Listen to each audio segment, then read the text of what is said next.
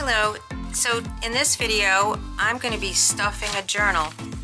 So I'm gathering up some papers, getting ready to put them in the journal that's already completed and getting ready to mail it out to Pennsylvania.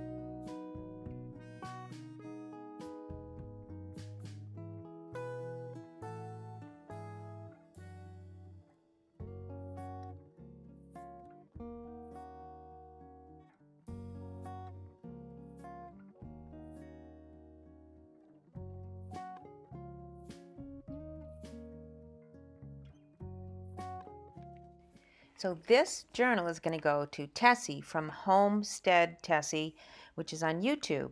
You can follow her and hope she enjoys this.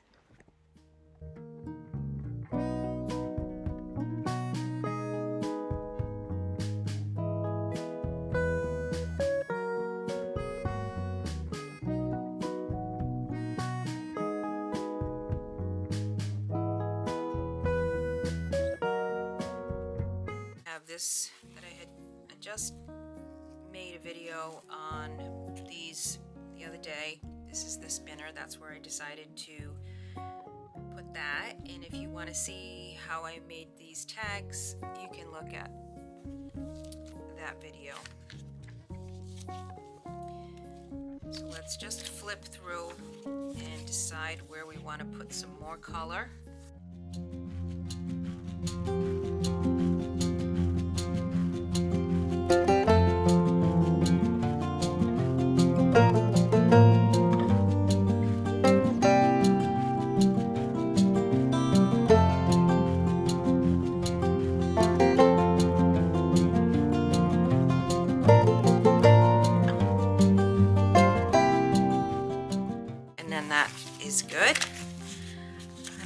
Thinking this is good. Does it need anything else? This is funny. This is Franklin D. Roosevelt and her distant cousin. The look on her face. It's funny. This tag I had already made up, so I can just put that in there. Have a little lace peeking out.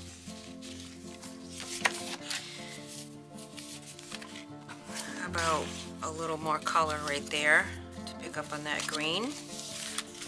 This looks good the way it is. This is black and white, and these colors are all good, but you know, I have, uh, because this is coming from Rhode Island, I found this book that is an entertainment book that I just picked up for free and I just take pages out of it and just put them in as some ephemera right so maybe we'll put it in on this side because of the black and white and I have this that's gonna go somewhere but I'm gonna look for something that's got some green in it Another rusty paper clip. Oh, this has got the green right here.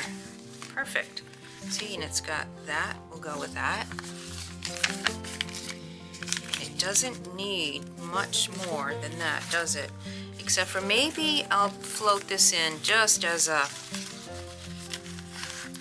writing space. It feels like it needs something up here though. Hmm. What can go up there? A light bulb? Now there's a flower there, so um, that might have to be for another, for me to think about for a little bit. You know, this is just sitting on my desk. So, bingo. What's wrong with that? I say nothing. A little bit of glue, and that's good to go.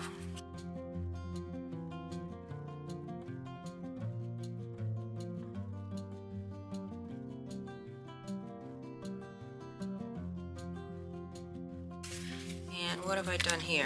Glued this together? Oh dear. Oh, I don't know if I wanted to do that, but well, I guess that'll be like a little place. Hey, how about if we put this in there? This is a floating pocket.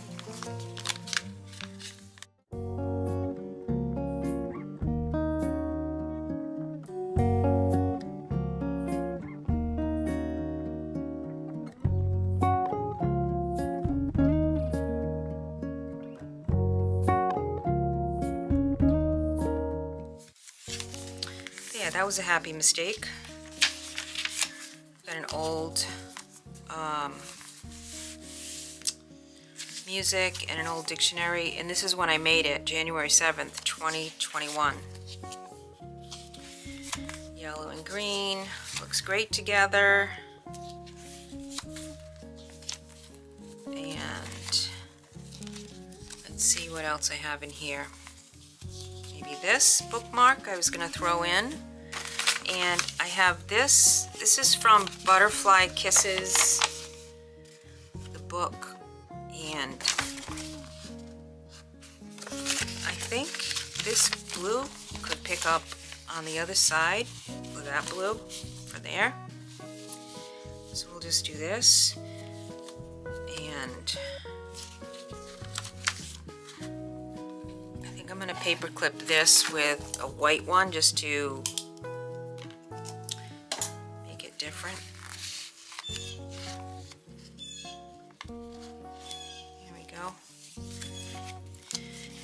some nice little magazine pictures in there. Now this, I'm wondering, I had this. This is peach and pink. I had made this the other day too. I think I'm going to put this in here. Yep, that looks great, I think. This is from Secret Garden. And some more flowers, and not, this goes, picks up on that. Not everything has to have a ephemera in it, right? We'll leave some of these things. We got a little bit of danglies on there. This Tim Holtz packaging looked great beside the bunny.